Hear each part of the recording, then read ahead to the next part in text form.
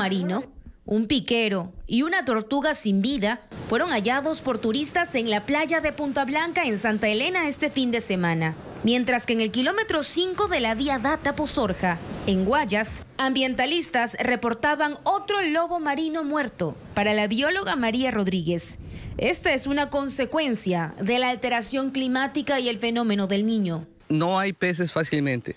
Entonces, a la sobrepesca que ya ha habido y a la necesidad de peces que este rato disminuye o se va más al, más al fondo, está poniendo demasiado estrés en las poblaciones de lobos y los más los jóvenes machos que se aventuran más son los más proclives a, ser, a, a, morir. Un equipo de televistazo recorrió parte del área nacional de recreación en playas y constató al menos 10 aves de la familia de los pufinos, una fragata y dos piqueros sin vida en el perfil costero. Incluso se observó a un cormorán guanay, originario de Perú, al cual la búsqueda de comida, tras el calentamiento del mar, lo trajo hasta esta zona de Ecuador. No hay nada especial que los atraiga pero vienen del sur, vienen del norte, según la corriente los va trayendo.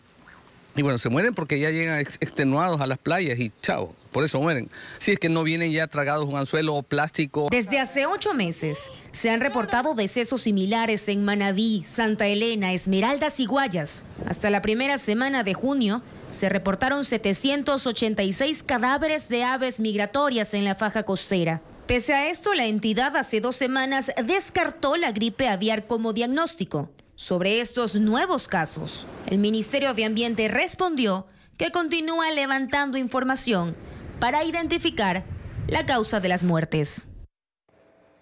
Se incrementa el número de diagnósticos de miopía, sobre todo en niños de escuela. Los especialistas en salud visual están atribuyendo el problema al exceso del uso de celulares y computadoras.